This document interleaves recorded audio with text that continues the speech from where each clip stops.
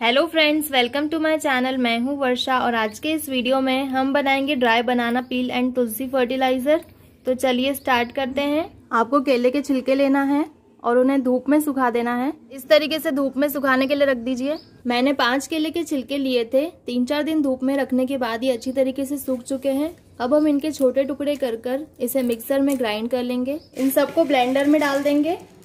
और मैंने आठ दस पत्ते तुलसी के भी लिए हैं। तुलसी लीव से सॉइल फर्टाइल होगा और ये प्लांट की ग्रोथ के लिए काफ़ी अच्छा रहता है। ये रेडी है। अगर आपके पास ग्राइंडर नहीं है तो आप इस तरीके से पेस्टल मोटर में भी इसे बना सकते हैं। तुलसी लीव्स और बनाना पील को इसके अंदर डाल दीजिए और फिर इस तरीके से बना लीजिए। ये रेडी है। अब हम इसे प्लांट्स में डालेंगे। आप जितना चाहें उतना फाइन पाउडर बना सकते हैं। जिन पौधों की मिट्टी को आप खोद नहीं सकते क्योंकि उसमें इस तरीके के छोटे छोटे प्लांट्स आ रहे हैं तो उनमें आप इस तरीके से ऊपर ऊपर ही डाल दीजिए इसे। इसे अच्छे से डालने के बाद पानी डाल दीजिए। ये मिट्टी में अपने आप मिक्स होते जाएगा। तुलसी के छोटे पौधों पर इसके रिजल्ट्स आप देख सकते हैं। कोई भी नया पौधा उगाते टाइम भी आप मिट्टी में इसे इस तरीके से मिक्स कर दीजिए। तो इस तरीके से उस प्लांट की ग्रोथ अच्छी होगी। दूसरे पौधों की मिट्टी में आप इसे थोड़ा सा खोद कर मिला सकते हैं।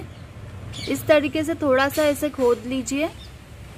और फिर इसके बाद हम ये डालेंगे और फिर वापस से इसे मिट्टी के साथ मिक्स कर देंगे।